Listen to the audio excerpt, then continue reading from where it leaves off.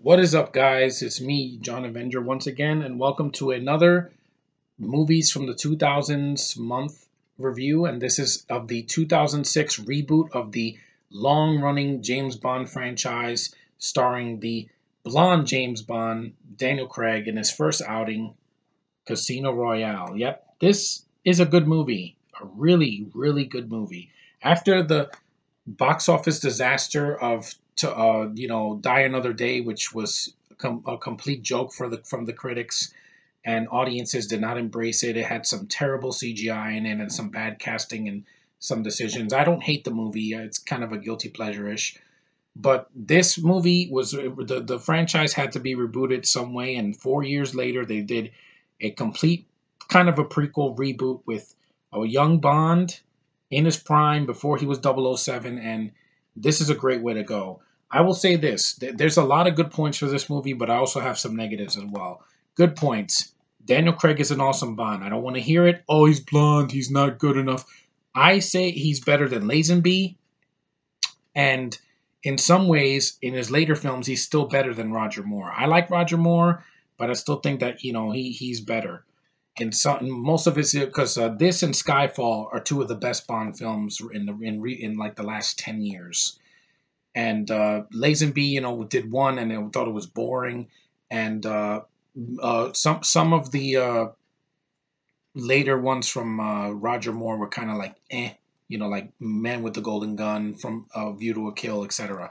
But this is about Casino Royale. Craig is good in the role. He's badass. He's freaking intense. He's meaner than the other Bonds, but he's more, you know, a, a, a basically updated version of Bond. And I never read any of the books, so I don't know if this is faithful to the source material, but he's he's a badass as Bond. Two, the action is really well done in this movie. Like the way they the, the movie opens is freaking awesome. The chase scene, it goes on for a while. It's very different. It's not shaky cam. I can see what's going on. You know, it's it's really, really energetic and fast paced in that scene. Really good action sequences. Definitely a plus for the movie. Uh, three, um, the villain is kind of interesting. I think he's he's uh he's all right. He's not uh, the best villain. It's Mads Mikkelsen. He's also going to be in Doctor Strange, so he has a villain face. I think he does fine. I also like Jeffrey Wright. I like uh, I also like what's her face, Judi Dench's M is good, and there's no gadgets in the movie, so it does something different.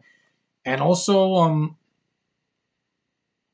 the film has a good story. You know, it's uh, basically it says Casino Royale begins with Bond before he holds his license to kill. See, it's a prequel to Bond. Bond is no less dangerous, and with two professional assassinations in quick succession, he is elevated to double O status. Basically, how he became 007, and you know, before Doctor No.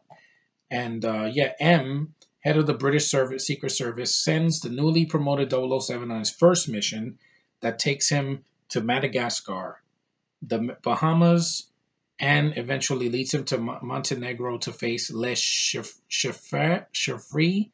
I don't know. It's I don't speak French. A ruthless financier under threat from his terrorist uh, clientele, who is attempting to restore his funds in a high-stake poker game at the Casino Royale. M places Bond under the watchful eye of the Treasury official Vesper Lynd. At first skeptical of what value Vesper can provide, Bond's interest in her deeper deepens as they brave to, to, uh, danger together. Les Chiffre's cunning and cruelty come to bear on them in both a way Bond could never imagine, and he learns his most important lesson trust no one. I agree with that. There are three things I don't care for in this movie. One, I think the movie is a little bit too long. One of the problems I've had with these recent Bond films is that they feel like they take forever to end. The action's really good, but when there's no action, there's a lot of padding and it just goes on forever. This and Skyfall are two of the longest Bond movies ever made. They're good, but they're way too long. You could cut 10 or 15 minutes from this movie. It would not have made a difference. The intro, the, you could still have the intro. You can still have the kick ass action. You don't need the padding. There's a scene where Bond is naked on a chair for some reason and the villain is knocking him in the balls. It's just hard to watch. I'm like, you don't need to turn this into Hostel. That's not what Bond was about. Two, I don't care about the lead girl. Ava Green, don't care about her. She's nice to look at, not much of a character. She basically, you know, like on and off with Bond, and then she dies at the end. Spoiler alert. Yeah, kind of serves no purpose. And three, Um, basically, yeah, like I said before, there's some padding. It's good. It's a really beautiful looking film. It's really well done, but there's some scenes that I did not need to see, like the scene with the chair.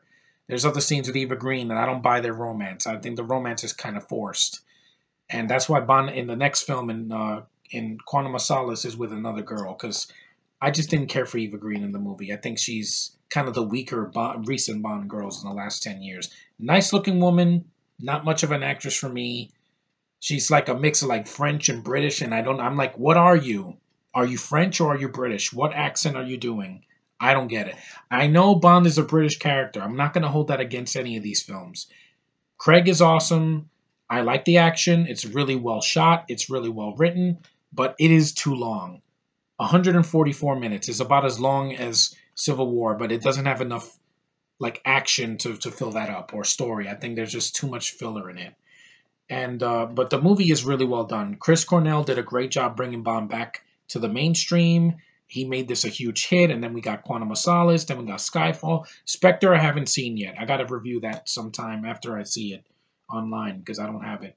But it says Daniel Craig is the best Bond in the franchise's history. He's a good Bond. I don't think he's the best. My favorite one will probably be Timothy Dalton because I like both of his films. He did not do a single bad movie. I really enjoyed Day, uh, Living Daylights, and I loved License to Kill is my favorite of the entire series. It's an 80s badass movie. And this is PG 13, but it doesn't feel pussified. But like I said, cut down the running time, get Eva Green out of there. I don't care about her, just replace her, and get somebody else that I buy. The other girl that's in it, I think uh, it's, um, yeah, that's in uh, um, the Italian chick that's in this movie. Very beautiful. I have no problem with her but she she kind of doesn't do much in the film. But uh, like I said, a visually stunning, awesome action movie that, despite the running time, I can still enjoy, it, and it's a really good fun watch. And if you haven't seen a Bond film, if you start with this one, you won't go wrong. I think it's really well done. So that's a 2006 film from 10 years ago that I could recommend. But if you get bored, just skip some of the uh, the filler scenes, especially that torture scene. It's just I don't need to see Daniel Craig naked on a chair, strapped, you know, with ropes and getting knocked in the balls. That just, that just is cringeworthy. It's like I spit on your grave type stuff. Anyway, it's a good movie though. So that's my review of the Kick-Ass Casino Royale. Really good movie. A little bit long in the tooth and some filler here, but it's still solid. And uh, I will definitely recommend it for any Bond fans out there, of the books or the films. So thanks for watching. Thanks for liking, subscribing, commenting. You guys are awesome. I'm going to review another film right after this one. It'll be coming soon because I want to keep this going. I only have one more year to get through. So I got through all two movies in the 2000s from 2000 to 2009 each year.